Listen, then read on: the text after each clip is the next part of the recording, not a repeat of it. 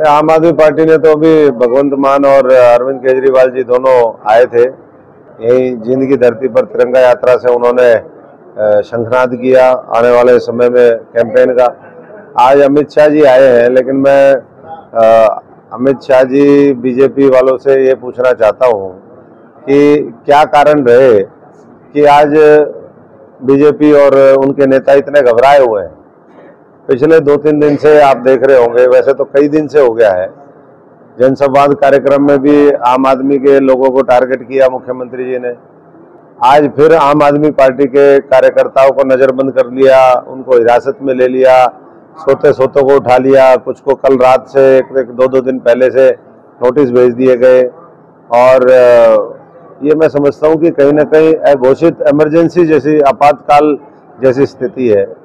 और इससे क्या लोकतंत्र बच पाएगा? सरपंच उठा लिए, कार्यकर्ता उठा लिए, नेता उठा लिए और हमारे जो महिला सरपंच है, उनको भी बंधक बना लिया। तो ऐसी स्थिति तो इतना तो मुझे नहीं लगता और अगर उनको लगता है कि इतना विरोध है तो कहीं ना कहीं उनको सुधार करना चाहिए। बिल्कुल आम आदमी पार्टी, लोकसभा भी, विधानसभा भी, नगर निगम, नगर निकाय भविष्य में जो भी चुनाव आएँगे वो सारे चुनाव बहुत मजबूती से लड़ने की ओर अग्रसर है। और इसीलिए संगठन निर्माण की प्रक्रिया बहुत तेज है। ब्लॉक अध्यक्ष अगले एक हफ़्ते के अंदर अंदर हमारे ब्लॉक अध्यक्ष बन जाएँगे। फिर सर्कल्स के ऊपर कमेटी बनेगी बूथ के ऊपर कमेटी बनेगी। तो मैं समझता हूँ कि हर पार्टी का अपना अपना तरीका होता है काम करने का।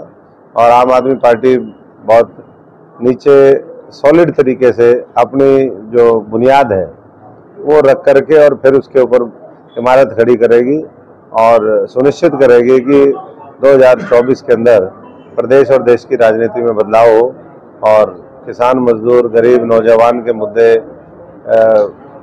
जिस तरीके से लगातार उनकी अनदेखी इस सरकार ने करी है, वो प्राथमिकता के साथ आगे बढ़े। शिक्षा, स्वास्थ्य, रोज़गार का जो अरविंद केजरीवाल जी का दिल्ली मॉडल है वो हरियाणा के लोग भी उसको कबूल करें, उस मॉडल के साथ चलते हुए हरियाणा को आगे बढ़ाने का काम करें। सत्य खबर, सत्य, सटीक, बेबाक।